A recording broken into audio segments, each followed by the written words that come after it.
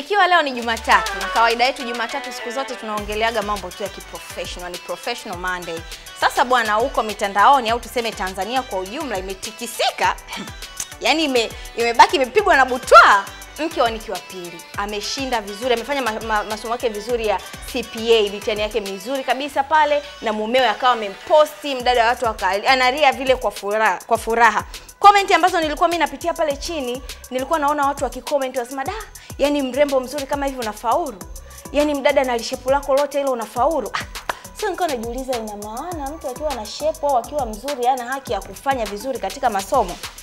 Tukarudi hapa dada, tukauliza majukumu yanaweza kusababisha yanaweza kusab, yanaweza kuwa sababu ya wewe kushindwa kutimiza ndoto zako za kielimu? Ni, ni kurekebishe kidogo hapo Mae, actually sio mke wake, ni mchumba wake na mama no, watoto wake, na ndo anaishi naye, hajamuoa bado.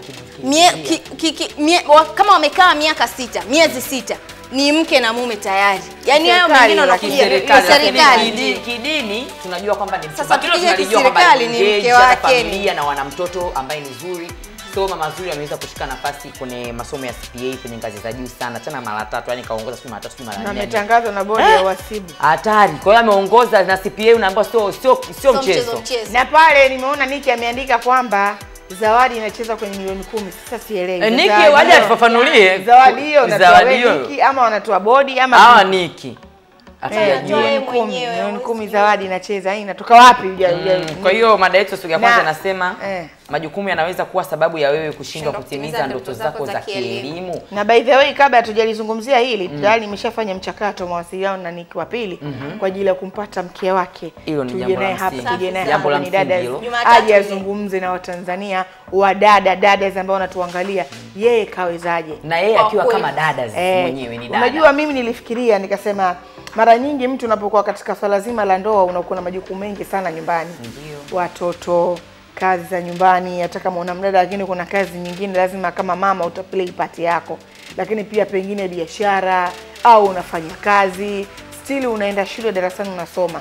Mara nyingi kichwa cha, cha mtu ambaye ana majukumu mengine nyumbani tofauti na yule mwanafunzi ambaye anakaa nyumbani anaenda chuo, ni yani yule bado hajaingia kwenye katika majukumu yoyote, tofauti ya, ki, ya kichwa cha yule binti na kichwa cha mama wa nyumbani, mama wa familia ambaye tayari ana mambo mengi yanamzunguka, sasa iko kubwa, lakini still anaenda shuleni kusoma. Tofauti iko kubwa sana hapa. Yeye kama mwanamke majukumu yote hayo yanayo, lakini still amechukua nafasi bora kabisa hapa Tanzania katika masomo yake CPA. Nilijiuliza amewezaje eh?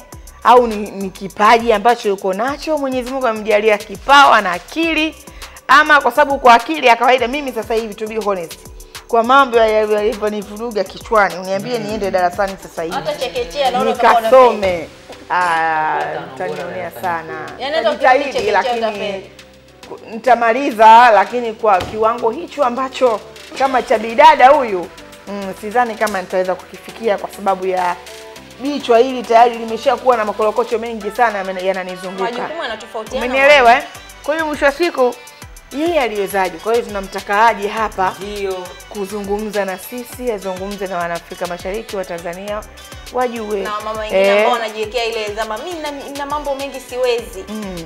Kwa hiyo majukumu, mimi nasema majukumu inategemea wewe na majukumu aina gani, lakini pia majukumu yako pengine huyo hajabeba kichwani. Ukiyabeba kichwani yale majukumu, kama ni binti Asumani hapa nimeyabeba kichwani sasa hivi, pengine nitakuja kukaa sawa, nitatua Eh, lakini kwa sasa hivi nina vitu vingi nimevibeba kichwani kiasi kwamba hata ukiniambia sasa hivi niende darasani utanionea.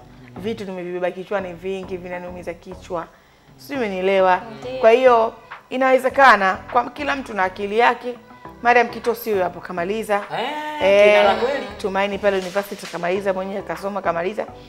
Kamaliza vizuri na na watoto na kazini alikuwa anakuja kama kawaida. Kuna wakati anaambia da mwanne da yani ai natamani tu mwaka uishe huu yani da nimechoka. Ipo hivyo. Kwa hiyo wapo ambao wanaweza Mwenyezi Mungu azidi kuwaongoza na wale ambao wana- wanajikongoja basi pia wazidi kukaza buti na sisi ambao sasa hivi tumetingwa, tuna vitu vingi vinatuumiza kichwa. Ukikaa darasani unaona picha ya mtu imekuja hiyo, ina picha ya mtu ambaye anakuumiza anakuumiza akili. Taelewa darasani kweli somo tena sio majukumu. vitu vinaenda, kuna mtu, kuna msindo majukumu wenyewe hapa, kuna majukumu mengine na ya kuumiza kichwa. Unaona sura ya mtu, unaona sura ya kwa ya Eh. nyumba, unaona sura ya ada ya shule pale, una yani unaona vitu vingi sana, makorokesho bili mbalimbali zime zimepangana hapa, zinatembea kichwani. mara unaona message ime- imeingia ya darasa, bili ya maji hujalipa, mara huku moyo umekatika, mara huku unajikuta ndani tena vitu vimeisha jikoni hey. hakuna, yani unajikuta una vulu vala ngati pa huku. Mambo vulmvu. huku, mara mmesikia mama ma- mama ataka chipsi, mama Fadi huyo. Babu wali, mama namba hela shule CPA hiyo mwanene utatoboa. CPA inatoka wapi? eh? Baba sambusa. Pishi lakini kwa kiukweli mimi mimi naweza nikasema tu aisee hongera sana kwa mama zuri mama zuri umekuwa kutushangaza wengi alafu pia kitu kingine nimekuja kushangaa huu mwaka nilikuja nilikuwa sijui kama kuna watu wengi sana ambao ni maarufu wakubwa tu wanasoma Kabisa. baada ya kuona ma graduation ndio unaona tu wanaposti kuna watangazaji kutoka media nyingine niliwaona wale ni wa, wa mama sasa wadada zetu wakubwa kabisa hi nikasema hadi wewe unasoma? Amehitimu. Kwa hiyo mpaka mtu anafikia tu ya kuvaa joo huyo katusua huyo. Kwa hiyo binafsi kwa kweli tena nilivyoona na mama zuri sasa tukimzungumzia kama yeye mi nilivyomuona tu kwanza nikajua alivyokuja ku, kuwa engaged na Niki akaja kuwa pregnant akaja kupata ujauzito alipopata ujauzito still alikuwa anaendelea kusoma alikuwa anaendelea na masomo yake. Sasa na yale mambo tena ya ujauzito mara leo hivi yule tumbo tena lile anasoma. Lakini vile vile yule dada ni mzuri sana. Najua watu wengi watakuwa lazima wameshangaa yani, mwenyewe hiyo, Alipo mcute, dhaifu. alivyomcute yaani kuna mtu anaweza akasema "Mm, yupo yupo tu. Kwa hiyo mimi naomba nikuulize kwanza kabla Kile hujaendelea. kichwa. Kwa watu wabaya ndio wanatakiwa wana Ah, ah, wewe hujanielewa watu wazuri wazuri kama sisi. yani- kwamba wale watoto wazuri sana hawana muda nao mambo wanaona urembo tu yani kuwaza urembo kujiweka vizuri tu kupendeza. Na tayari ni mzuri sana Somali. kwa mtu ambaye anasoma kama mimi Najma hapa Soma. soma wangu mimi nasoma Sura baba. Ehe, wenye sura kama baba hapa kitabu tu wewe unajirembo na mlembea nani kitabu kwa hiyo mimi kwa kweli kiukweli kabisa yule dada ni, ni mwana ana, ana, yuko kwenye mahusiano na mwanaume ambaye ni mtu maarufu. Hiyo ni changamoto nyingine. Lazima atakuwa alikuwa na stress. Mm, Niki ni mtu ambaye si- sio kama na mambo mengi lakini mtu maarufu. Anasumbuliwa na yeye anasafiri. Sijui mara amechelewa leo kurudi ameperform club huko. Mambo ni mengi. Mama zuri anasoma cpa huku niki kachelewa kurudi nyumbani. Hivi nyie mnacheza nini? Haya bado zuri hajalia hapo hajamnyonyesha sijui hajafanyaje na bado dada ana duka amefungua duka juzi tu hapa la biashara. Kubwa sijui ilikuwa tumeshasahau lakini duka kubwa la biashara. Mambo yote haya anayafanya yeye anasimamia yeye. Sasa kimsingi huyu amesimama kuwakilisha mabinti wengine ambao ni wazuri warembo lakini vilevile vile wana majukumu na wakati mada inaandaliwa mi nimwambia producer kuna namna natamani nizungumze hata kwa wale ambao wana, sana sana wako vioni. Vioni watu wazima tayari. Kama hivyo mwanne una majukumu yako. Kuna mama chuoni sasa hivi mtumbo huwa hapa na kamaliza naye CPA yake vizuri sana na usikuta amefaulu vizuri. Tu yaani unamshangaa huyu mtu alimalizaje? Kwa hiyo kuwa na majukumu mimi kwangu sioni kama ni chanzo cha kutokuwa na ufaulu mzuri nadhani ufaulu mzuri unaletwa na mambo mengi. Pia motivation ya watu wanaokuzunguka. Najua kabisa kwamba niki alisimama mstari wa mbele wa kummotivate yule dada mpaka amefanya Kwa vizuri. Kichwa. kichwa kile. Kwa hiyo lazima atakuwa alikaa naye alimsaidia hata kusoma kukesha kutafuta matiro za maana support ya kutoka kwa mtu sahihi uliye naye. Uko na mtu gani kwenye mahusiano familia inayokuzunguka majukumu unayoyafanya ofisini unaishije na wafanyakazi wenzako mabosi zako? Haya yote haya ni mazingira yanayokuzunguka yanayochangia wewe kupata ufaulu mzuri ama kuvurunda sasa kama una mwanaume kivuruge nyumbani ukirudi unasoma soma nini bwana na wewe kila siku unasoma nyumbani unashindwa kupika hey, hey, hey. mama Ndio anasemaga wanasema CPA oh au mwisho. Bado na stress yanakuletea za wanawake wa nje. Mara si umeivi mambo kibao Na mwanaume anaokukatiza kusoma, angalia elimu yake. Eh. Yeye ana elimu gani? eh, pengine darasa la saba ajui hata hiyo CPA ni nini, labda anajua suspension of nini nini. Ila kwa na pale mimi sio suspension sio Suspension mtu wapi. ah, sasa si kwa mwanaume asiyejua kusoma na sema anasema circumstances, tutakuelewa. Eh, mzunguko tu tuelewe. kwa mimi majukumu yanaweza akanifanya kweli nikakosa kia, au nikakosa kufanya mambo yangu ya kielimu kama vile kusoma naweza nikashindwa.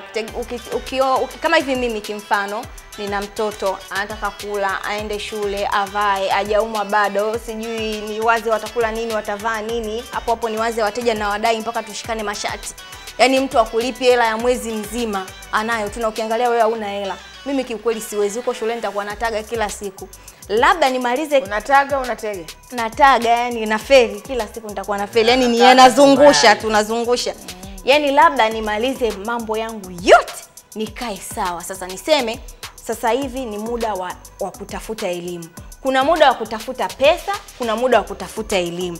Ila ukivichanganya hivi vitu kwa wakati mmoja huku unatafuta pesa huku unatafuta elimu unaweza ukafeli. Huyu dada yeye kapata mwanaume mwenye uelewa mwanaume aliyesoma anayejua maana ya elimu ni nini. Akamwambia mke wangu sasa majukumu ya nyumbani yapunguze kidogo bakiza ya shule mengine tusaidiane. Hivyo lakini ukute mwanaume ngumbalo ambaye kaishia darasa la saba. Kuna wengine wameishia darasa la saba ila wanajielewa